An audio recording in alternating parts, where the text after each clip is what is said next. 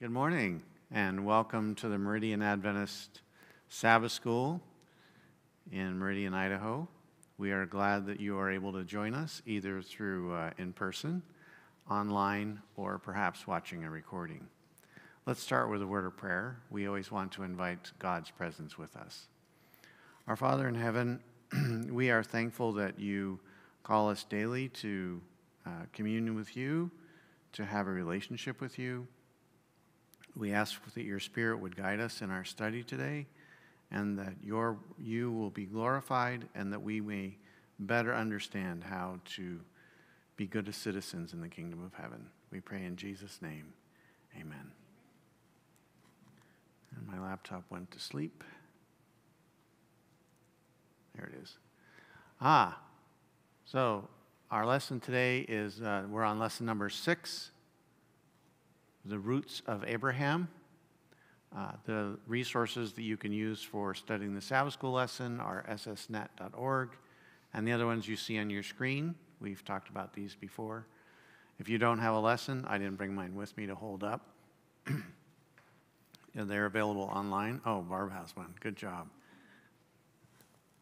Yeah. Oh, she wants it back. I can't keep, I can't, uh, I didn't have it long enough to look through her notes and grade that. uh, I don't know how to pronounce this gentleman's name, uh, and you probably can't read the text at the bottom, although I see there's a mouse there. Uh, this, this, uh, he's a, if you, if you can read the really tiny print at the bottom, it says he makes 10, over 10 million a year as a soccer player and uh, somebody captured this shot, and you can't really tell because of the quality, but he's got an iPhone 11 there with a cracked screen. Does that have a dissidence in your mind? Earns 10 million a year, cracked iPhone 11. And this picture was taken in the last six months. So iPhone 11 is not the latest model. He was asked about it. Why are you carrying around a cracked iPhone, a, a cracked cell phone? You, you have uh, lots of resources at your disposal. And he said, Why would I want 10 Ferraris, 20 diamond watches, and two jet planes? What would that do for the world? I starved, I worked in the fields, I played barefoot.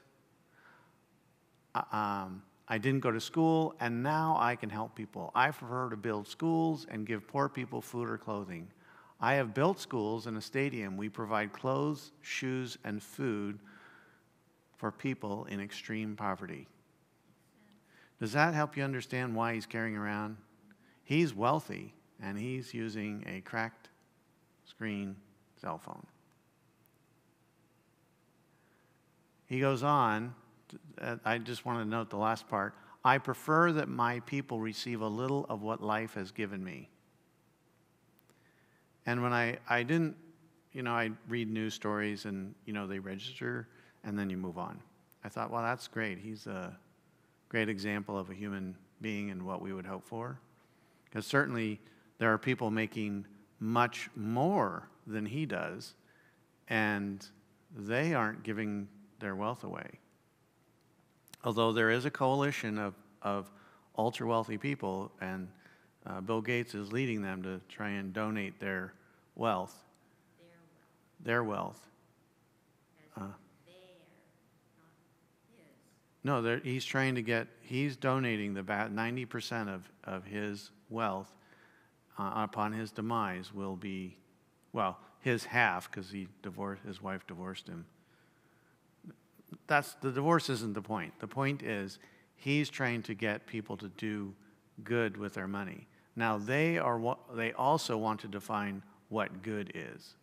And I I'm not going to say I do or don't agree. I'm just saying that's part of it. It's still using your money for what you want. It's better than I don't know, spending how much money so that you can take a trip into space. I'm not saying that's a bad idea. You have the wealth, you can do it. But if you had taken that same wealth and how much could you have relieved the suffering of people somewhere?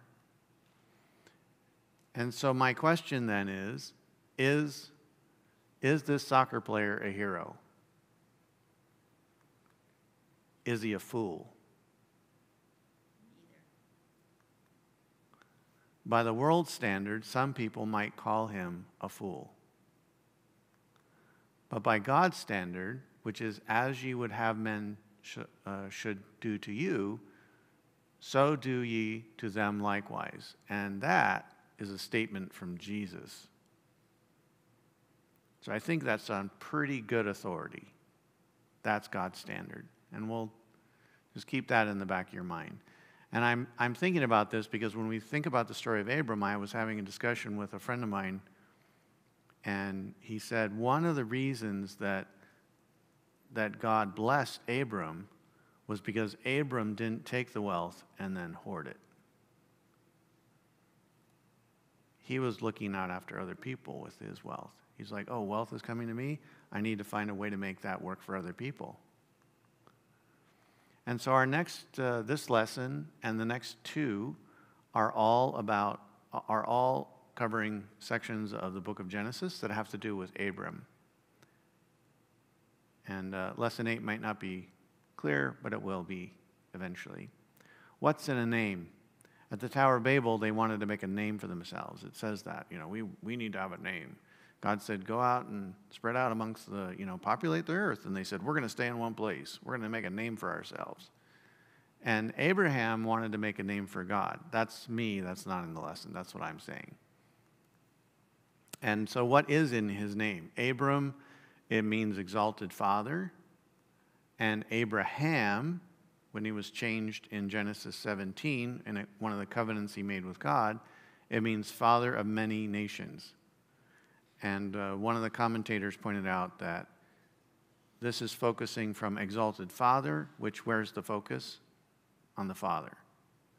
And then Father of many nations, the, the, the it kind of shifts focus. It's no longer, yes, he is the Father of many nations, but it's, you could say it's more about the nations. Sarai, his wife, her name means princess, literally. And her name was changed to Sarah, princess of the multitudes, and in other languages it also means joy or happy, which in their culture, if you were going to be a happy woman, what did you need? What was the primary thing that you needed to give your husband? Kids. Kids.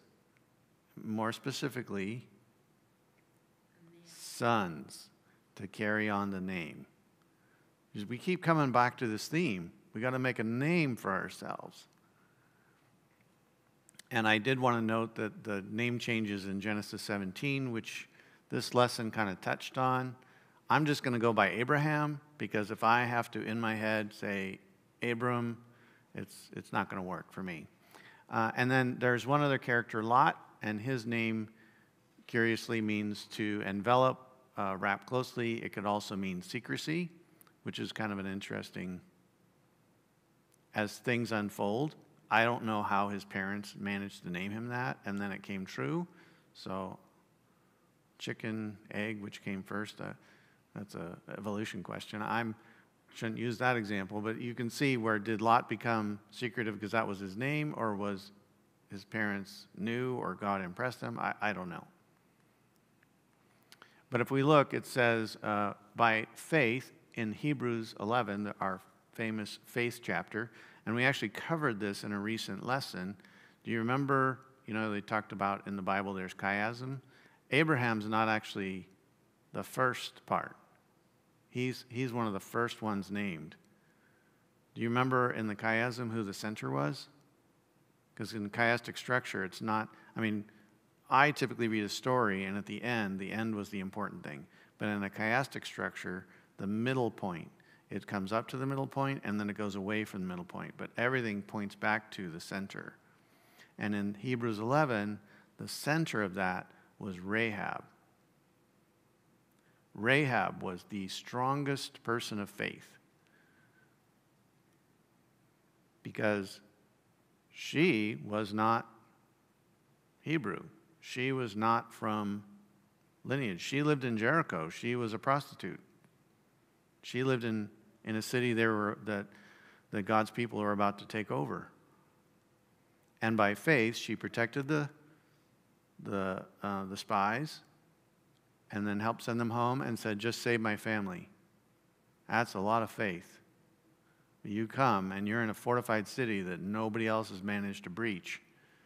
She's the one. But Abraham, of course, is listed there as well. And it says he obeyed when he was called and he, to receive an inheritance. He went out not knowing where he was going. So it'd be one thing if you said, okay, well, I'm going to, you know, take a trip to New York and visit my, with my wife and, and visit her, her children. You know, I know where I'm going. Uh, I don't ever remember, not even once, um, going out and saying, I'm just going to go drive around.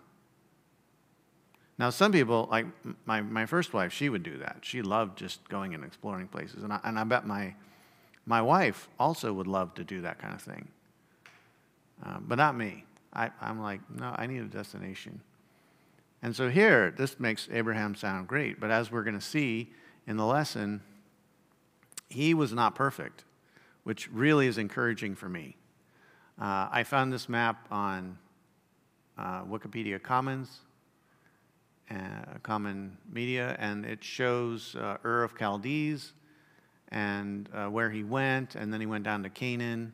Uh, it doesn't show his trip to, to Egypt. And uh, this is another map I found, a little bit more of a topography. Uh, I can't read it. I don't know about you, but I, I can't, whatever language that is, I, I can't read it. But it does show a little bit of it. also from uh, Wikimedia. And then here, this is actually Google Maps, because I thought, well, uh, I don't really understand. You know, I know Abraham took a trip, but I need to have some kind of frame of reference. Where exactly did he go? And you can see it's, it's kind of, well, obviously, uh, Google Maps today is not going to tell us where he actually went, because uh, those are roads, and I don't think those were the roads he took. But it, it's kind of a, I just put some points on a map, and, and it actually goes uh, to Cairo. I don't know that he went to Cairo. I'm just saying he went to Egypt, so I picked a place in Egypt, and then he ended up back. If you have ever used Google Maps, you know that the red dot is kind of where he ended up, and I don't know that Nazareth is where he ended up. I just picked a spot, but just generically speaking, you can kind of get an idea. But I wanted to know in my head what was the frame reference of God tells him to, to go, and he, he goes. And so the trip would have been about 4,000 kilometers or about 2,500 miles, something like that, close to it. And uh, that would be a cross country trip if you went from San Francisco to uh, someplace in Florida. That'd be about 2,500. Actually, uh, it was, that was too far. It'd be San Francisco to Atlanta, would be about that line. And it would be a cross country trip with livestock. And, and um, you could also, because it was a there and back trip, because he, he went to the promised land and he went to Egypt and back. So I, I did another one, this time again in the U.S., where he went from, if you went from Boise to Waco, Texas, and back to Colorado Springs, which kind of represents the same kind of trip, also would be about 2,500, 2,400 miles. Again, giving you an idea with livestock. I, I kept putting the, I put the livestock in there part because I think it's important. I mean, they weren't, you know, taking the bullet train or an airplane or some other, you know, modern means of conveyance. They were walking, and he had stuff. So it would it would take a while, right, to to go 2,500 miles walking. I have no idea how long it took him to do that. Now, Abraham gets a, a, a command, a, a message from God go. And it says it's concerning his family. He must leave his heritage and what he learned and acquired through heredity, education, and influence. But an interesting thing, you know, I have some keys in my pocket, so I think they're in my other pocket.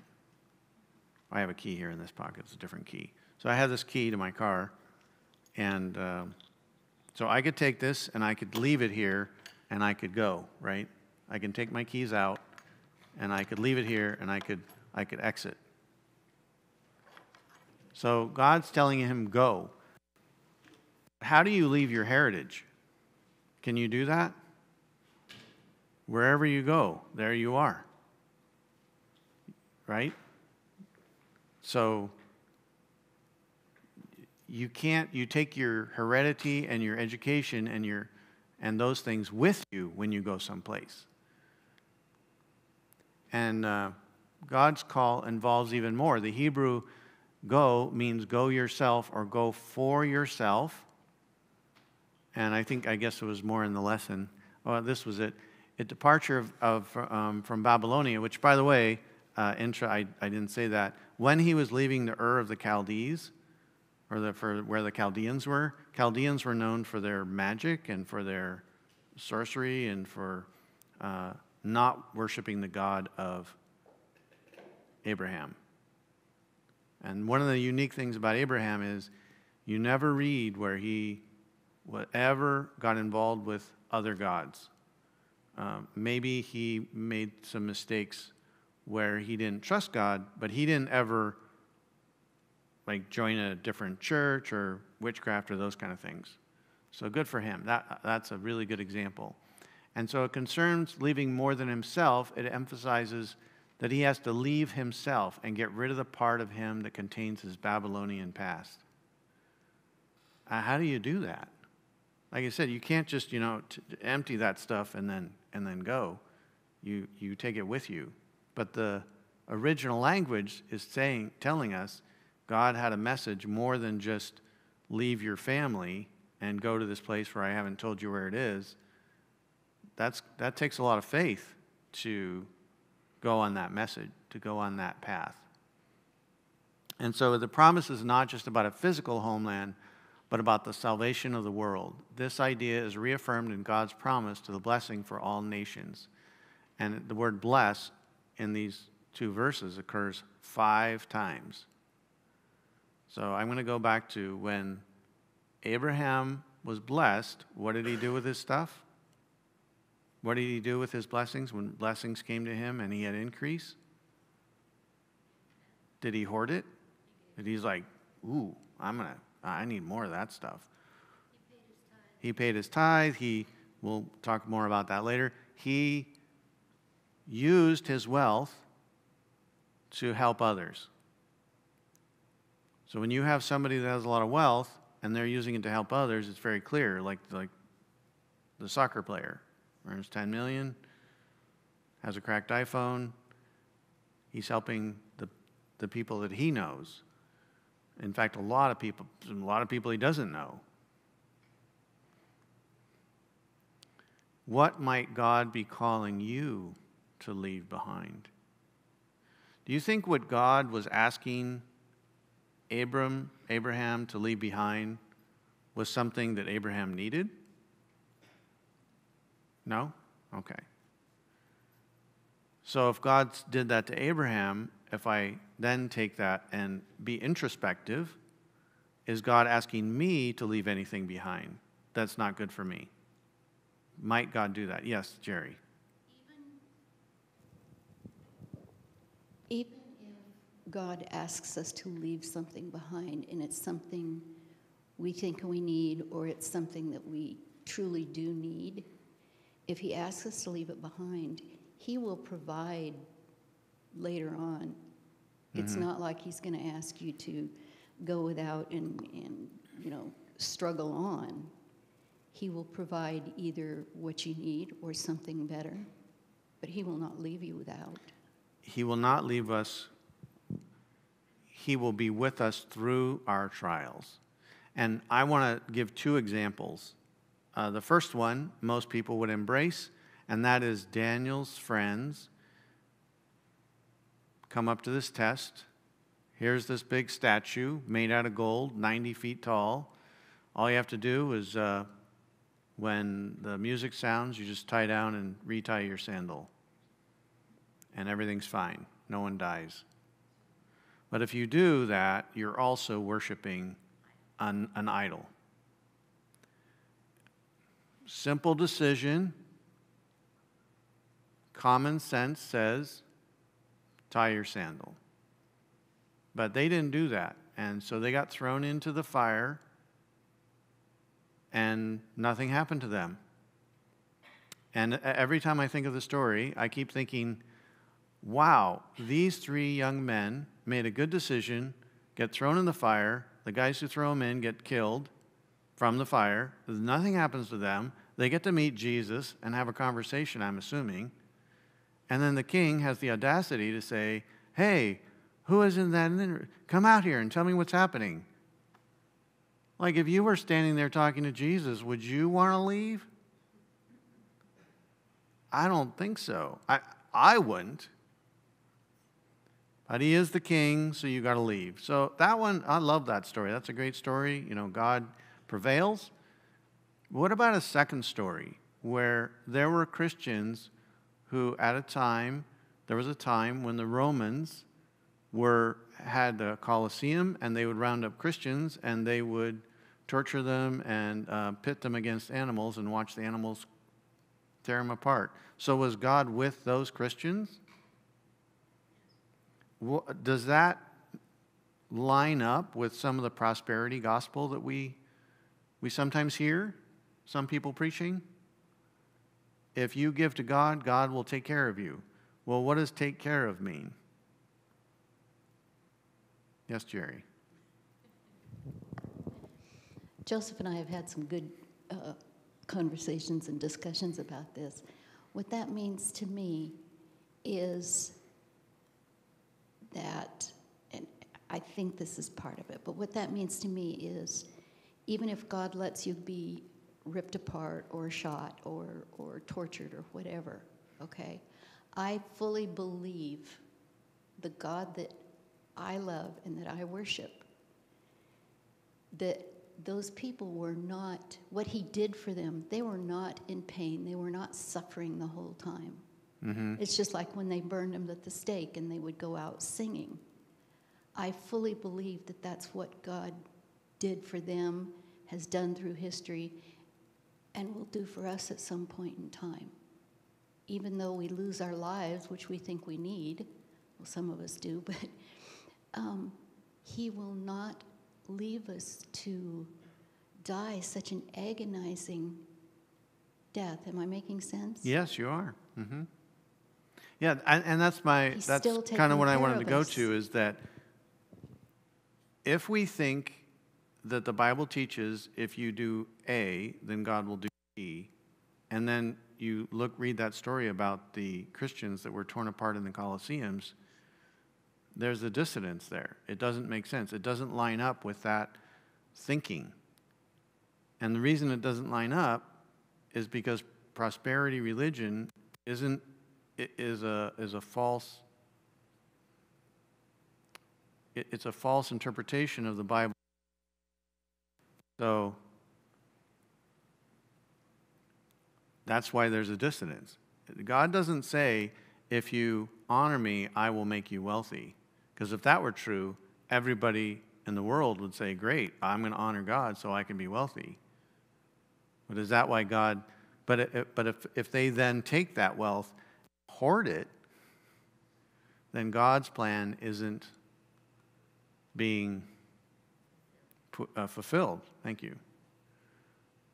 So, what part of your life might you have to abandon in order to heed the call of God?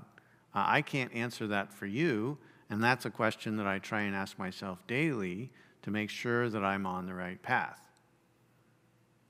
And like Abraham, sometimes I make mistakes.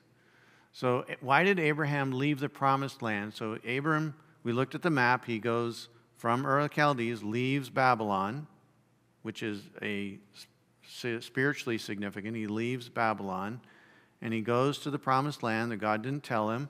He arrives there and there's a famine. So he starts out in faith and he gets to the place and there's famine, and we don't know what God would have done because Abram decided, I'm going to go to Egypt. They have food there. So he goes to Egypt. Yes, Joe? he goes to Egypt, right, because of the famine. And then he, uh, his wife, I think at the time, he was about 90, I want to say, something like that. I didn't look up the numbers. His wife's 10 years younger than him. Maybe he was 80. Uh, I think she was around 70. That's what I'm thinking.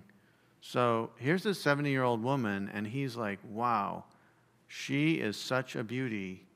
Uh, they're going to kill me in order to have her as a wife.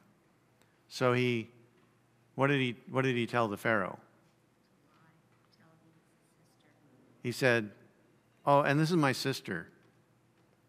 Is that, is that all of the information he should have shared? No, he shared the part that he thought would get him off, but it also put her in a vulnerable place. And I don't understand that culturally. I just know that and sometimes Abram's a really brave guy, and other times you're just like, dude, what are you doing? And he repeated this error with King Abimelech later. So he didn't do it just once. And then his son, as we will find in future lessons, kind of does the same thing. Do you think Isaac may have learned that story?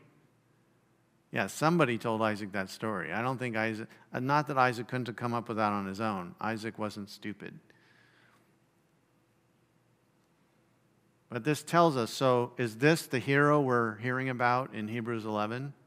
The man of faith lying to two different men of power so that he could save his own skin?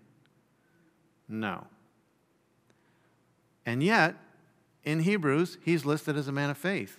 So what you know what that tells me is either Hebrews 11 is wrong or Hebrews 11 is right because God, when we ask for forgiveness, He's like, okay, let's start over. Let, us adjust. Let's get the path corrected. God is not a, a, a God that is vengeful and a God that is, you know, all about the rules. Joe, did you have something to share? The most interesting part of that story that I thought was uh, God still honored Abraham and his wife by inflicting enormous damage on, on the Pharaoh and his whole, and his whole yeah. family. Pharaoh got the message, didn't he? Oh, Just yeah. not from Abraham. And what was that message? They stopped bearing children. Now, I am not a woman. I've never faithful. Yeah, I was never I've never given birth to a child. I've seen my first wife give birth twice, and it was not uh, fun and games. It's the kind of thing that wrenches your soul when you see someone you care about in pain. So I'm thinking about these women. I don't know if they not only stopped conceiving, I have a feeling it could be, it doesn't say specifically, but imagine the pregnant women couldn't give birth.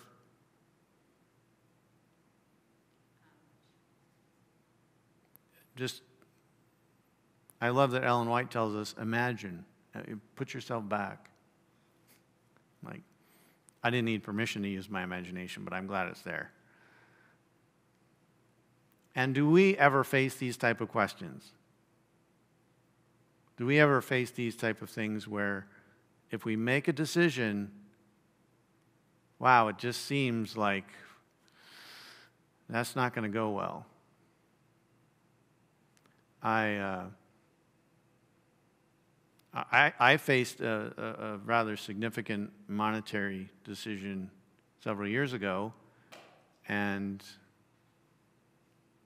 um, I decided, you know, I'm, I'm just going to trust God in this. And the people we were dealing with, there's no reason it should have come out in my favor, but it did. And I truly believe that God worked in that. And this decision impacted my sons. And when they, they, they weren't, I made the decision, I took the action, and then I told them.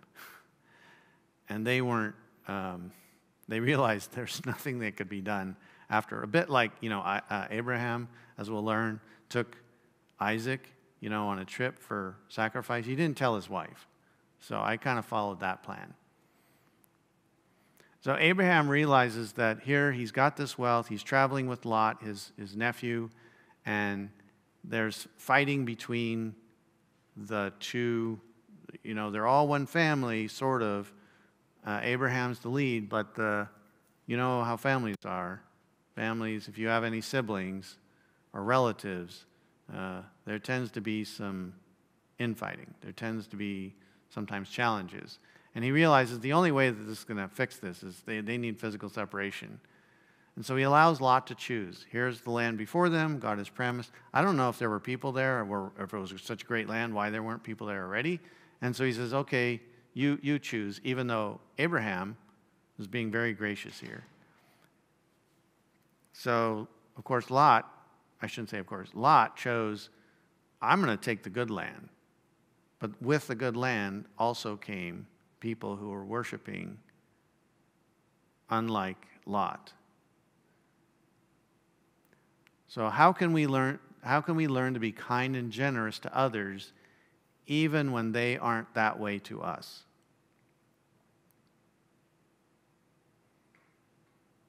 Any ideas? There's always crisis, yeah. So if we want to learn to be kind and generous to others that are unkind and not generous, you know what God has to do in our lives? He has to bring into our lives people who are unkind and not generous so that we can learn how to work, be with, to, um, how we can learn to, get, to, to work with them. So, I mean, to me, that sounds like I, I'm not sure I like that. Much like if I wanted to win a bodybuilding contest, which I don't think my physique would ever allow that, because uh, I've always been slender, and I'm the probably the slenderest of six sons out of eight children. But if I did want to do that, I would have to do a lot of weightlifting and go through some pain and be rigorous about my diet and lots of other things. That's how that happens. Now, once you get fit, you don't have to necessarily work as hard. Maintaining fitness isn't the same as getting to fitness. Once you're fit, it takes less effort. You can maintain it. Uh, similar to other things. If you let your house start falling down around your ears and don't paint it for 30 years and the wood starts warping and the wood and uh, it, it takes a lot of repair. Whereas if you just were to maintain your house and keep it painted, it'd be a lot less effort.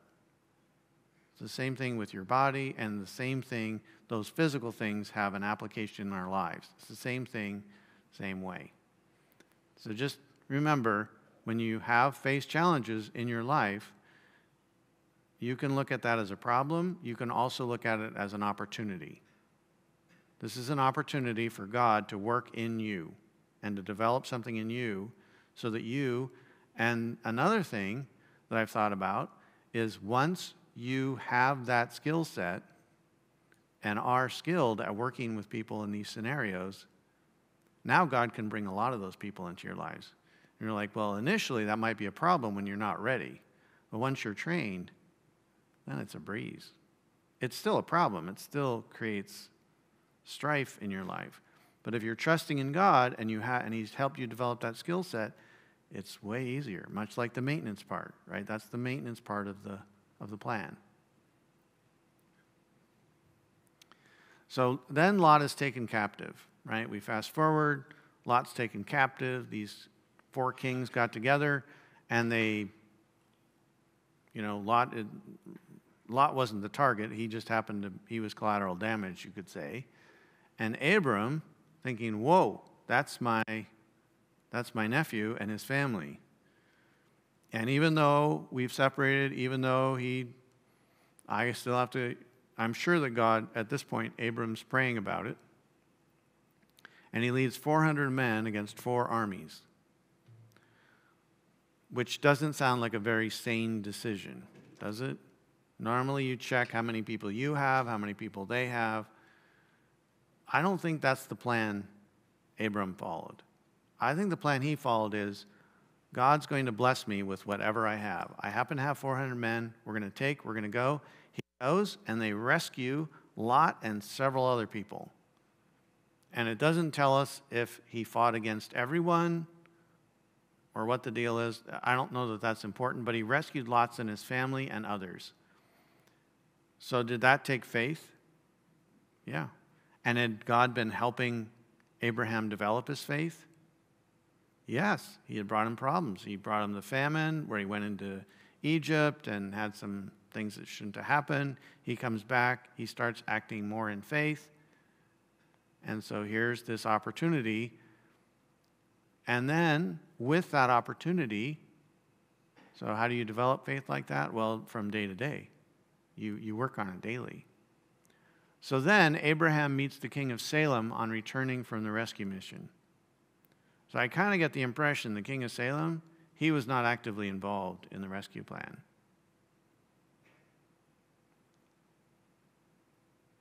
I'm pretty sure Abraham was right there with his men. So the king asks only for the people, not the things. He says, like, hey, you brought my people. I just want my, my people. The thing is, the king of Salem had no right for, from anything. Everything that's, that happened with, with that rescue, by rights, by their local code, their local laws, their culture, that was all Abraham. He gets to keep it all. But we know a little bit about Abraham already, right? He left Ur of Chaldees, where it was uh, comfortable, really nice living.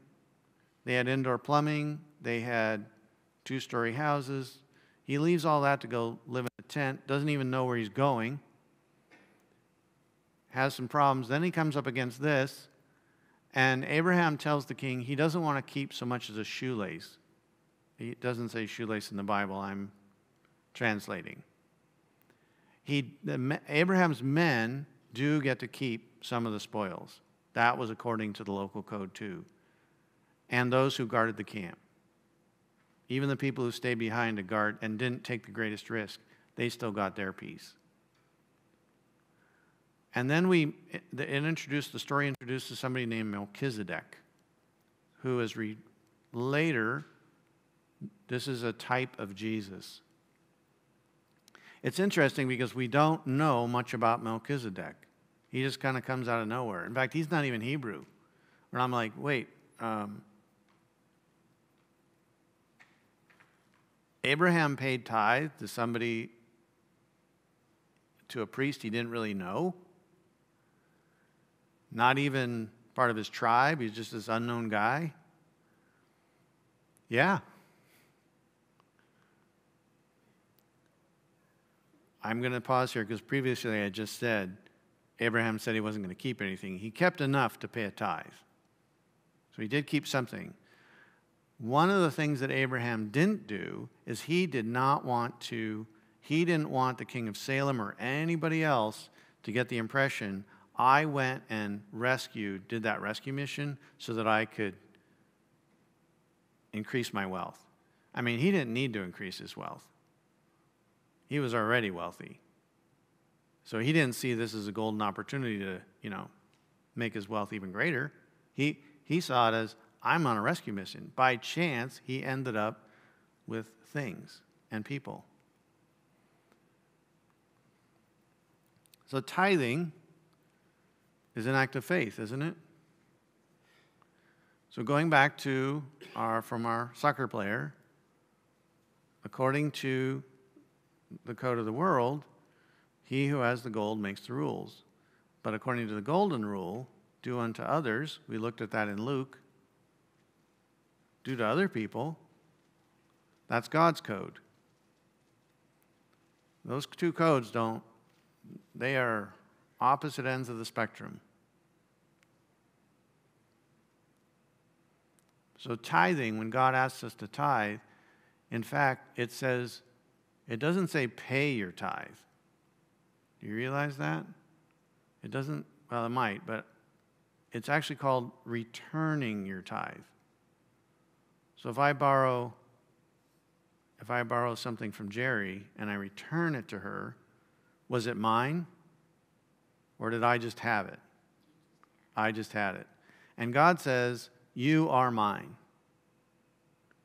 I know that for, I mean, I grew up in America. I have an American culture and mindset, just like Abraham had the Hammurabi Code, and that's why later in the stories, they have, we're going to see in the next coming lessons how they said, well, if you can't have a son, then you can have a son, you can take one of your servants and you can make him your, your son, even though he's not lineage. And another option is you can take your wife's handmaiden. And one of the things I found interesting was I don't know if this is going to be covered or not, but um, is it Hagar? I think is her name. Uh, she was she was Egyptian, I think. So remember when he went to Egypt and he made a mistake, God helped point it out. And when they sent him on their way, they're like, whoever you're worshiping, we don't want to mess with that. Anybody who can make people either stop having babies or stop getting pregnant, we don't want any part of that. We don't want to anger them. And so they said, not only, you know, could you leave, like, here's some gifts, like, and then adios amigos, right? Just go. So I, am I'm, I'm kind of wondering if, if I put it together, it doesn't say in the story that maybe this Egyptian handmaiden was a gift from the king to Sarah. So even though by the, war, the world standard it makes no sense, tithing is an example, uh, is God's example to us hoarding or is God's example to us sharing? Sharing. He gave his son, he created, he's constantly seeking us, he's chasing us as a, as a lover. For anyone who's uh, been in love or, or uh, wanted to date something, you know, they have the, that, that period where, where they call it puppy love or they call it uh, infatuation, right? Which is not, it's a thing. It's chemically a thing. Like it happens. You're just head over heels over someone and you can't see everything about them. You can only see the best about them. So when we, God chases us like a lover who's infatuated, He is, He's crazy about us. He'd have to be in order to do what He did and all the effort He's putting into saving us. That's the only explanation I can come up with. That's what fits, that makes sense. And if somebody who cares about you that much, is there some way that he's saying, okay, let's, how do we respond to that? Do we do that by saying, great, you gave me stuff and now let's hang on to it? So we have a few minutes left. What did we learn? God wants us to be faithful to Him, even when it doesn't make sense. Does it make sense? Did it make sense to Abraham to leave Ur of the Chaldees and on a trip where he had no known destination? No, it didn't. But that's what God asked them to do. And now we have that story because Abraham was faithful. God can make good come out of what wasn't good. So God didn't, you know, Abraham had some missteps. He was faithful, he left, he went on his journey, but he made some mistakes on his way. And God turned those things that were not good into good. I think that's a good message for us to know even when we make mistakes, it's not like you're out, it's not game over. Remember, God's that lover who's chasing us, He's infatuated with us. He thinks we're awesome. What God does in our lives to bless us isn't only for us. In fact, He wants us to be the conduit for His love to others. So if we're, if we're not doing that, we might want to rethink how we're doing our lives. Because that was the example Jesus gave. And it's the example you can go through the whole Bible and look for those examples of those who did and those who didn't. Uh, you think of the story of Jonah. Jonah was a prophet, clearly had a communication with God. Otherwise, they wouldn't have, you know, necessarily been talking like that. And God gives him a mission, and he goes the other way. And God still turned it around and said, We're still going to make this work out. Right?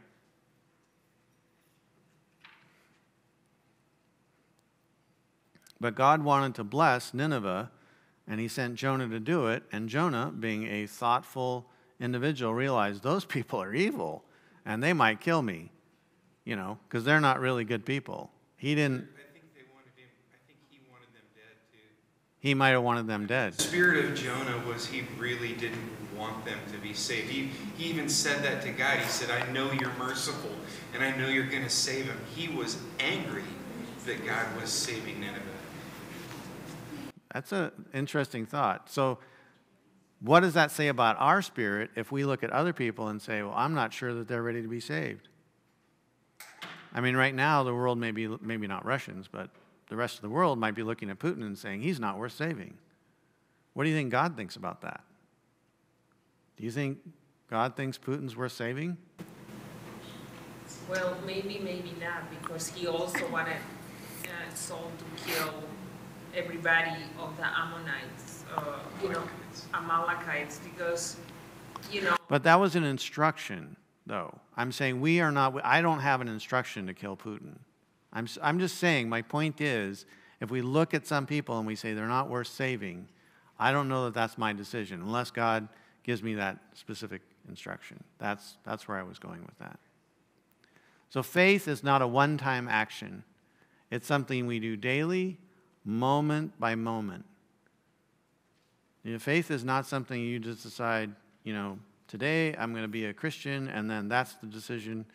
And um, I know, being a man, I make this mistake. I got married. I told my wife I love her. What else does she want? Uh, on, on, you know, occasionally I need to remind her because, you know, it's important for her. It's not important for me. I already know that. Uh, we talked in the first part of the lesson do you want to make a name for yourself? God already has a name for you. No need to do that. And He's got a much better, you look at the Bible story, He's got a much better plan than people think up. We don't think big enough. And if you make a mistake, talk it over with God. He wants to keep the lines of communication open. Those are the things we see in these lessons from Genesis and about Abraham and Lot. Our lesson next week is the covenant with Abraham, and I don't remember who's presenting, but I'm looking forward to it. You see the picture there. What was his covenant? God's promise to him is your. So here's, here's Abraham, still no son. 100 years, he gets promises multiple times. You're going to have you're going to have offspring, and he's got no son. Now, Abraham kind of screwed this up too. He made some mistakes. But remember, I said that God can make good. One fifth of the world population is Muslim. I think God loves Muslims. I don't think He loves some of the things that they believe where they're very harsh, uh, because that's not who God is. But I think God still loves them and He still wants them. So here's this covenant with Abraham. You are going, your name, and we're still talking about him today as this character from the, from the Old Testament. Let's close with a word of prayer. Our Father in heaven, today we've looked at things about Abraham and the example that he gives us, the example that you want us to be faithful to you. We don't always understand it. Help us to follow you in faith, in, in your leadings, so that we can bless others and that they too can be in your kingdom. We want that for ourselves. We want to take that and be just like you and desire that for others. We pray this in Jesus' name. Amen.